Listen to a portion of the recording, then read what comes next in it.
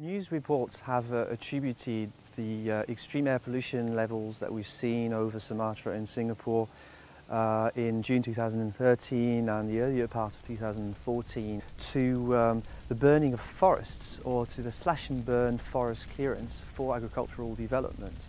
Now we've found something different. Um, we knew from the satellite imagery that over 80% of the areas that have actually burned uh, we've mapped that about 160,000 hectares have burned. So 80% of 160,000 hectares were actually non-forest. Um, um, land ranging from shrubs, exposed soils, uh, to plantations, oil palm or acacia plantations. But we went to the field to find out what these non-forest lands were, were actually made of. Sorry, we flew a drone over seven burn sites in the, in, the, in the areas where the burning had been more, the most severe and we were able to conclude that much of the burning happened in uh, what we called forest cemeteries. In other words, um, areas of land that had already been deforested before fire and which were um, where you could see scattered wood debris everywhere, the remnants of, you know, of forests, uh, decapitated stumps, branches lying about, downed trunks, but these areas had not yet been converted to agriculture. So um, this is rather different from the slash and burn forest clearance.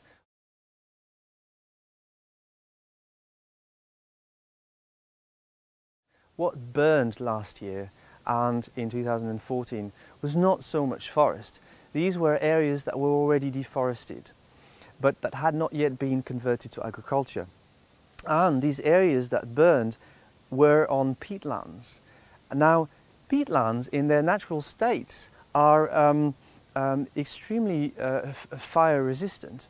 Uh, why? Because um, they are wet all year round. I mean, they're they're they're essentially a, a bog or um, you know um, um, a, a, swamp, and they are covered in lush tropical rainforest, and so the lush tropical the canopy cover above ground keeps the below ground cool and wet all year round because there's always water. Now, what happens is that when these systems get uh, become deforested, when you strip the forest of these lands, um, the peat becomes exposed to soil, to, becomes exposed to, uh, to, to, air. And peat in itself is a type of soil which is extremely flammable. It's, uh, it's a type of fuel, it's a type of young coal, decayed organic matter.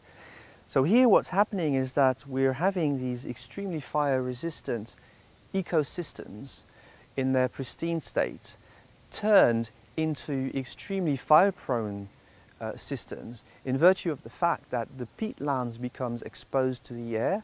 There is no longer uh, the, the protection from the vegetation cover because the forest has been removed and on top of this these um, lands are drained because they are swamps and for anybody to grow anything on them for agriculture uh, they need to remove the, the, the, the water.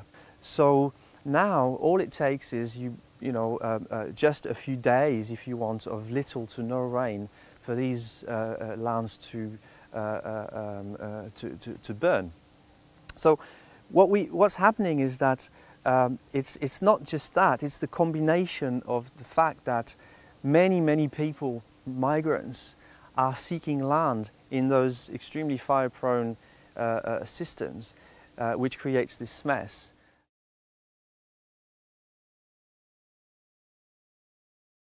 These systems stay, once they've become deforested, they, stay, they can stay idle for a few years. So um, from, the, from the time the forest is being removed to the time this same plot of land is being converted to agriculture, it might take a few years. And that's something that struck us because we thought that it would normally take up to six months to a year between the time it gets the forest becomes removed and the agricultural area becomes established. But what we're seeing is that a lot of these areas stay idle in this fire-prone system for a good number of years before they get converted to agriculture. We don't understand why. There are probably constraints associated to this that we don't know of. But what that means is that the same area repeatedly burns over time. It can burn multiple times. It keeps burning, burning and burning. And that's obviously bad news because it means that every time there's burning, there's haze, there's another episode of, of, uh, of pollution. And what it also means is that you no longer need to have these extreme uh, uh, drought years uh, for these fires to start. All you need is to have just a few consecutive days of no rain in a regular or wetter than average year for these fires to start. So that means that these fires are going to keep recurring more and more often and, and, and it's going to be more and more difficult for anybody to predict them. So that thing, that's the novelty of, of, of our research.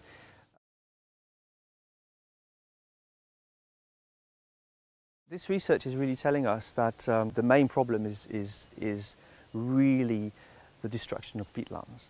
And um, what, really, what we really advocate is to actually stop the conversion of peatlands and the drainage of peatlands, uh, further conversion of these peatlands. Because what we're seeing is that um, the destruction of these peatlands is a lose-lose situation wherever you look at it. Um, um, it's, um, uh, peatlands um, are not uh, deemed suitable for agriculture. In fact, for, uh, you know, farmers would like to, would tend to avoid farming on peatlands. They would prefer to farm on mineral soils.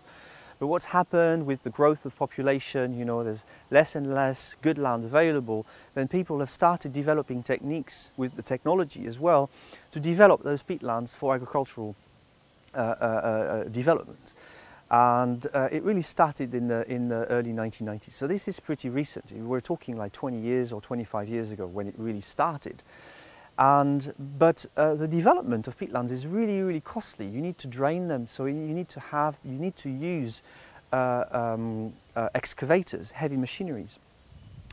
And uh, in themselves, peatlands are also really not really, they're not very suitable for agriculture. They're very acidic soil, so you can't grow anything you like. You have to often bring topsoil if you want to grow uh, uh, uh, crops that are not really suitable for these systems. So they're very costly, very expensive.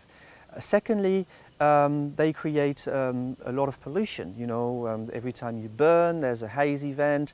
Um, they emit a lot of greenhouse gases and they um, and uh, they emit a lot of aerosols which are particularly noxious for people you know for this particulate matter this pollution this haze that people will inhale either in cities or in the neighborhood or in the vicinity of the fires so really uh, what we advocate is the, the, the, the, uh, the, the to stop the development of uh, the further development and drainage of, of peatlands.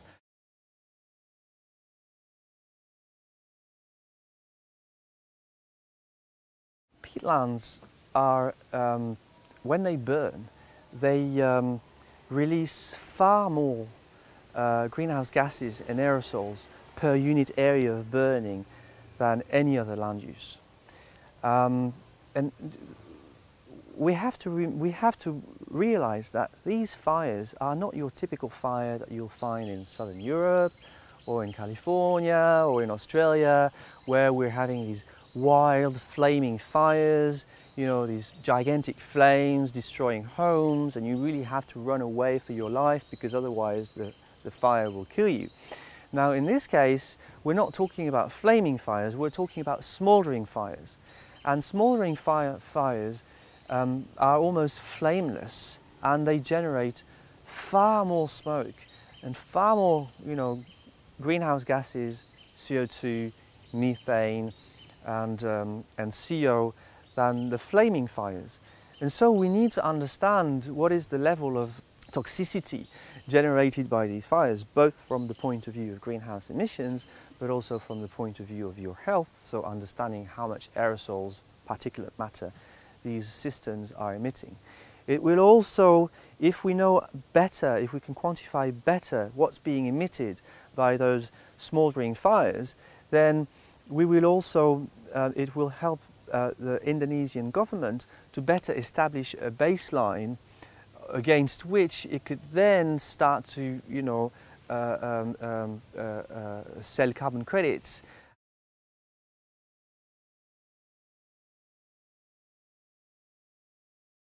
Uh, the uh, Singaporean government um, uh, ratified um, a, a, a, law which essentially enables, gives the legal right to uh, uh, prosecute anybody who's found guilty to create haze over Singapore, which, but which would mean that any executive of a company involved in burning somewhere in Sumatra stepping foot on Singaporean soil could be arrested or questioned, detained and eventually be fined for, for, for wrongdoing if found guilty. I think this is a, a, a, step in the, in the right direction because it really sends a strong signal to those who are creating this mess that uh, uh, they will uh, face consequences if, uh, if, um, if they uh, go to uh, Singapore. However, um, we um, the, the, the Singaporean government doesn't fully realize that the situation on the ground is a lot more complex than what they think. Um, this law is primarily going to target the large companies, uh, the conglomerates, the oil palm and acacia companies who operate in Sumatra and the executive who work for these companies. Now, um, our research tends to suggest that um, if companies are involved in burning, uh, they are not the only ones. And in some cases, um, the companies, um, thinking of the acacia companies in particular, um, might actually be the victim of the fires more than the culprits. And so this law uh, will, uh, does not yet, I think, have the tools to uh, uh, um, um, tackle this complexity on the ground. I mean, for example, um, um the Singaporean government is thinking of prosecuting uh, uh, companies um, based on the evidence that uh, there's fire being found inside the concessions of the companies. But our research tends to show that if there's burning inside the company, it might not necessarily be the company who's starting the fire. And there's two main reasons for that. One is because, well, the fire might actually start outside and, you know, spread uncontrolled in the, within the concession because of wind, for example. And secondly, um, um, the concession might be occupied, parts of the concessions might be occupied by land users who are unrelated to the concessions.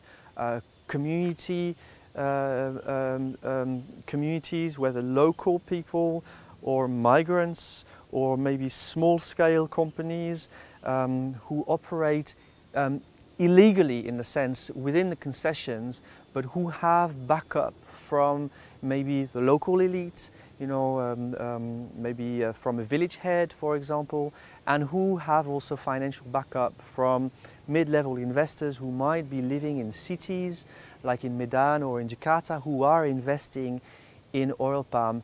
So this complexity really must be understood through research by going in the field, doing ethnographic studies. I think we've gone as far as we could using the remote sensing tools that we have, you know, the, the drone, the satellites and so on. But now it's time to go in the field and really understand what's going on and because by understanding what's going on you understand who is burning, who's responsible, who's gaining and who's losing from these fires.